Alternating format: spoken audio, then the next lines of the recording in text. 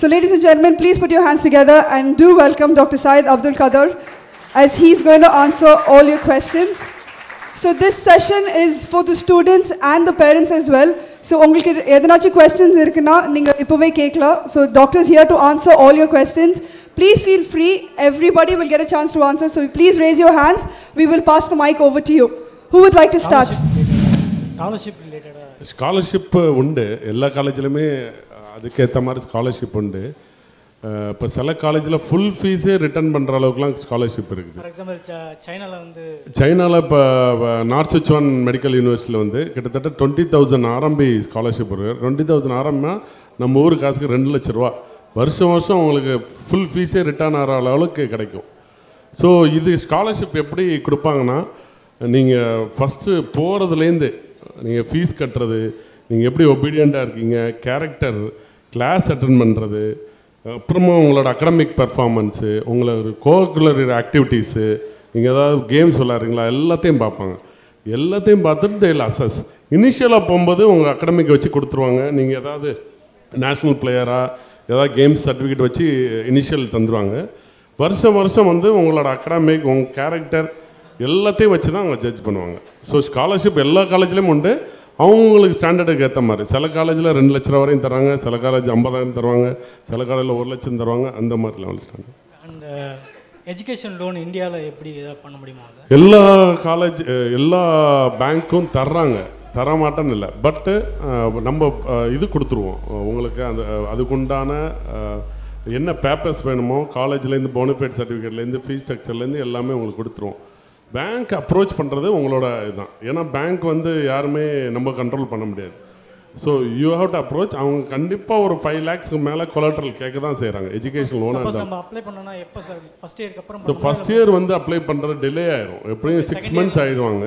So second இயரில் apply பண்ணீங்க second year இந்த போனோடனே அப்ளை பண்ணீங்கன்னா அவங்க போனோடனே போனிஃபைட் சர்டிஃபிகேட்டும் வாங்கி அனுப்பிச்சி விட்ருவாங்க அப்ளை பண்ண இந்த ஒரு வருஷத்தில் நீங்கள் இந்த ஒரு வருஷம் செலவே அடுத்த வருஷம் சேர்த்து தந்துடுவாங்க தேங்க்யூம்மா sir is there any difficulty அதாவது ஒரு பர்டிகுலர் பேங்க்னுடைய ஆப்ரேஷன்ஸ் அதாவது ரெஸ்ட்ரிக்ஷன்ஸ் ஏதாவது இருக்குதா? சார் அது வந்து ஒவ்வொரு சிட்டிலேயும் ஒவ்வொரு மாதிரி பொறுத்து.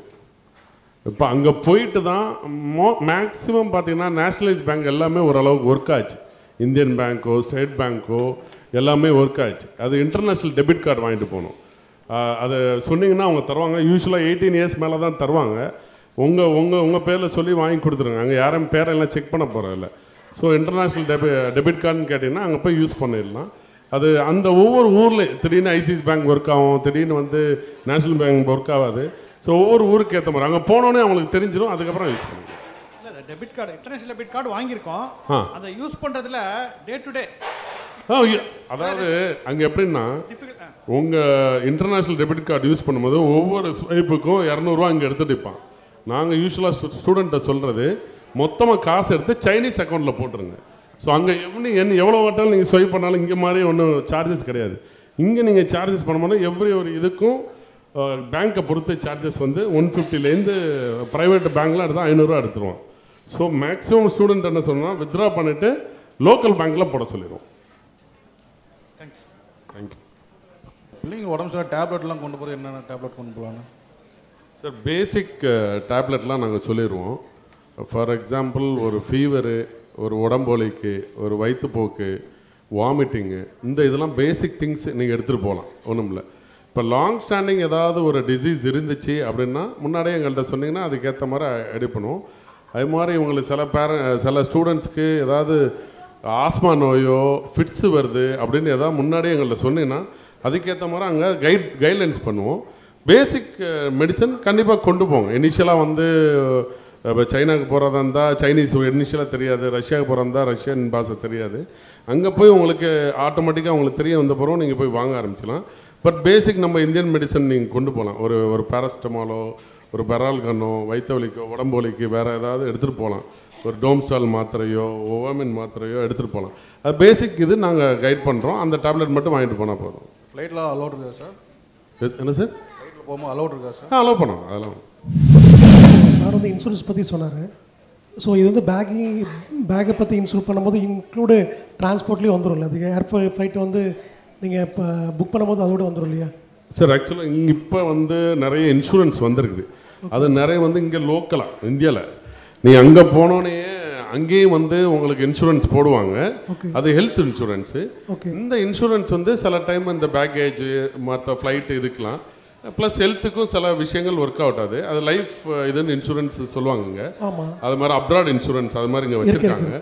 அந்த மாதிரி எடுத்துக்கிட்டிங்கன்னா நீங்கள் இங்கேயே கட்டிக்கலாம். அவங்க என்னென்ன அங்கே யூஸ் ஆகுதோ நீங்கள் கேட்டுக்கலாம். இப்போ சைனாக்கு போகிறீங்கன்னா சைனாவில் என்னென்ன யூஸ் ஆகும்னு கேட்டுக்கலாம். அவங்க ப்ரைவேட் கன்சர்ன் உங்களுக்கு ஹெல்ப் பண்ணுவாங்க. இங்கேருந்து போகிறோம் போயிட்டு அங்கே வந்து யூனிவர்சிட்டியில் தங்குறதுக்கு எங்களுக்கு எதுவும் வசதி இருக்கா? அங்கே வந்து யூனிவர்சிட்டியில் அலோடு கிடையாது. நாங்களே வெளியே தான் தங்குவோம். ஸோ கண்டிப்பாக நாங்கள் தங்குற இடத்துலையே உங்களுக்கு ஹோட்டல் அங்கே வந்து ஒரு ஃபைவ் ஸ்டார் ரேஞ்சில் தான் இருக்கும். நார்மல் நம்ம ஊர் காசுக்கு டூ தௌசண்ட் ருபீஸ்க்கு ரொம்ப ஃபைவ் ஸ்டார் ரேஞ்சில் தான் இருக்கும். ஸோ அது ரொம்ப கம்ஃபர்டபுளாக இருக்கும். யூனிவர்சிட்டி பக்கத்தில் தான் இருப்போம் எப்படி நாங்கள் இருக்கிறனால பக்கத்தில் இருப்போம். அதில் வர்ற பேரண்ட்ஸுக்கெல்லாம் எங்களோட வந்துட்டு அந்த ஏன்னா சாப்பாடுக்கு எல்லாத்துக்கும் நம்ம அதை அட்ஜஸ்ட் பண்ணணும். இல்லை நான் உங்களோட வர்றது சொல்லல. நெக்ஸ்ட் இயர் அதுக்கப்புறமா அதுக்கப்புறம் பையனுக்கு சைனீஸ் பாஸ் தந்துடும் நம்மளை கேட்கவே தேவையில்ல. அவனே கூப்பிட்டு உங்களை சுத்த ஆரம்பிச்சிருவாங்க. சைனீஸ் பாஸை ஈஸியாக ஒரு சிக்ஸ் மந்த்ஸில் அவங்க கற்றுக்குருவாங்க யூஸ் பண்ணிட்டு இருக்கோம் பார்த்தீங்களா இதே மொபைல் இந்த நம்பர் யூஸ் ஆகாது.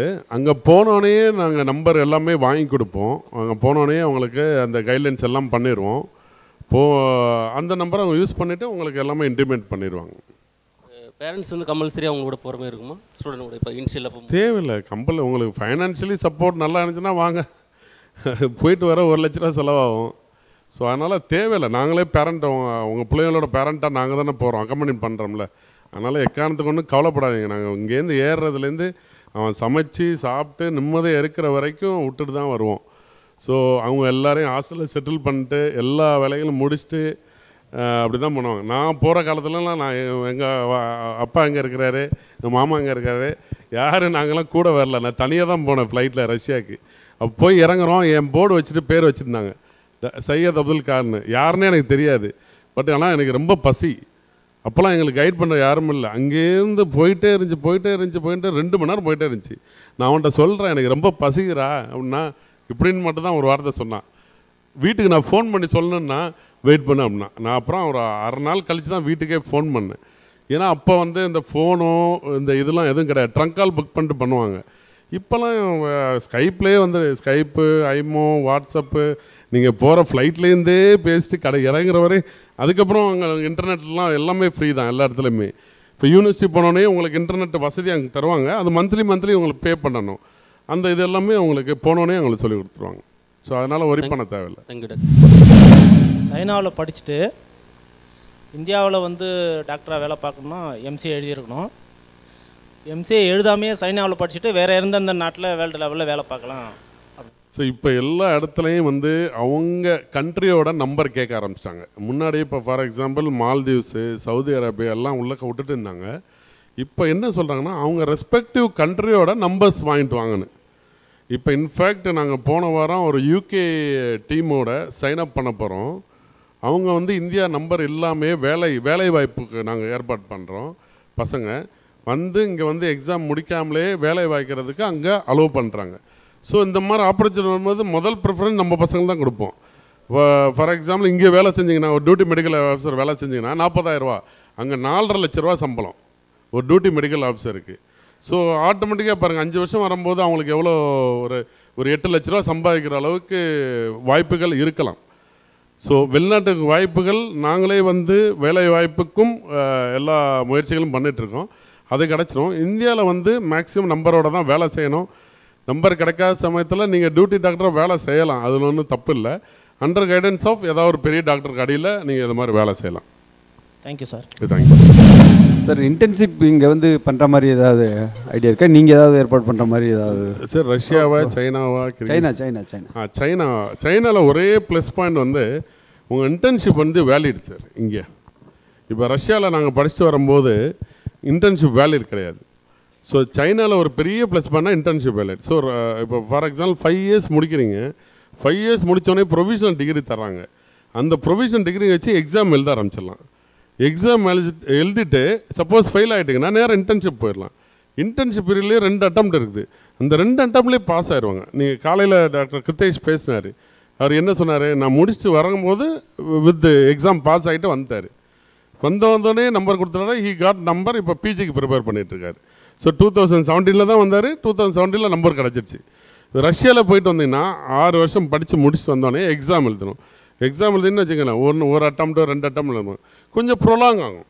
ஸோ இதில் சைனாவில் ஒரு இன்டர்ன்ஷிப் வேலிட்னால உங்களுக்கு ஒரு plus point sir is there any idea in to in internship in India sir இந்தியாவில் நீங்கள் பண்ணலாம் சார் கிட்ட இப்போ ஜிஓ படி அஞ்சு லட்ச ரூபா ஆயிடுச்சு. நான் பண்ணும்போது வெறும் பத்தாயிரம் ரூபா. இப்போ வந்து அஞ்சு லட்ச ரூபா வெறும் கவர்மெண்ட்டுக்கு நீங்கள் கொடுக்குறது. ஸோ ஃபர்தராக எவ்வளோ இருக்குன்னு நினச்சி பாருங்கள் ஸோ அதனால் டைம் வேஸ்ட் பண்ணாமல் மணி வேஸ்ட் பண்ணாமல் அங்கே பண்ணிக்கலாம். உங்களுக்கு இடையில் இடையில ஏதாவது வரும்போது நான் ராயப்பேட்டை ஜிஹெச்சில் இருக்கேன். லீவ் வரும்போது ஒரு ஒன் வீக் என்கிட்ட வந்தாங்கன்னா இப்போ எல்லா பர பசங்க லீவில் வரும்போதெல்லாம் என்கிட்ட வருவாங்க. இன்ட்ரெஸ்டட் பசங்களாம் வருவாங்க. நான் நைட் டியூட்டி இருக்கும்போதெல்லாம் வந்து சின்ன சின்ன ப்ரொசீஜர்லாம் கற்றுக் கொடுப்பேன். ஸோ இந்த மாதிரி இன்ட்ரெஸ்ட் எடுத்து வந்துடலாம். முடிச்சிட்ட பிறகு உங்களுக்கு சப்போஸ் அங்கே இன்டர்ன்ஷிப் முடிச்சுட்டு எனக்கு இதில் கான்ஃபிடண்ட் இல்லை அப்படின்னா ஒரு சர்ஜரியில் டீமில் நான் இருக்கணும்னா மெட்ராஸ் மெடிக்கல் காலேஜ் பண்ணிங்கன்னா எலக்டிவ்னு சொல்லுவாங்க அது பேர். நீங்கள் பே பண்ணி மூணு மாதம் அஞ்சு மாதம் கூட எடுத்துக்கலாம். ஸோ உங்களுக்கு என்ன இன்ட்ரெஸ்ட் இருக்குதோ அதில் கூட நீங்கள் போகலாம் what about exit exam sir so exit exam next இயர்லேருந்து அநேகமாக வந்துடும் ஸோ எக்ஸிட் எக்ஸாமுக்கும் எஃப்எம்ஜிக்கும் ஒன்றும் இல்லை சேம் தான். எக்ஸிட் எக்ஸாம் என்னன்னா எல்லாருமே எய்ம்ஸில் படித்தாலும் சரி ஜிம்மரில் படித்தாலும் சரி சைனாவில் படித்தாலும் சரி ரஷ்யாவில் படித்தாலும் சரி, எல்லாருமே அதே எக்ஸாம் எழுதுகிற மாதிரி தான் வைக்கிறது exit and NEET PG is equal so எப்படி அவங்க பண்ண போகிறாங்கன்னா ஃபஸ்ட்டு எக்ஸிட் எக்ஸாம் கொடுத்துட்டு அதில் ஒரு ஃபிஃப்டி பர்சன்டேஜ் மார்க் எடுத்துருவாங்க. இதை வந்து நீட் பிஜியில் ஒரு ஃபிஃப்டி பர்சன்டேஜ் மார்க் எடுத்து ரெண்டத்தையும் கம்பைன் பண்ணி பிஜி சீட்டு கொடுக்குற மாதிரி. So that exit exam will not go in waste வேஸ்ட்டாக போயிடாமல் அந்த எக்ஸிட் எக்ஸாமில் ஃபிஃப்டீன் பர்சன்டேஜ் எடுத்து நீட் பிஜியில் கொஞ்சம் எடுத்து இதையும் ரெண்டத்தையும் கம்பைன் பண்ணி ஒரு பிஜி சீட் கொடுக்குற மாதிரி. இது ஆக்சுவலாக யூஎஸில் ஃபாலோ பண்ணுறது ஸோ இந்த சிஸ்டத்தை இங்கே கொண்டு வர்றதுக்கு உண்டான முயற்சிகள் செஞ்சுட்டு இருக்கிறோம் ஓகே தேங்க்யூ தேங்க்யூ കനവുകൾ തുറക്കൂ കടൽ കടന്ന് ചെല്ലൂ ചിറകൾ Your doctor dreams come true with Karol Educational Consultancy.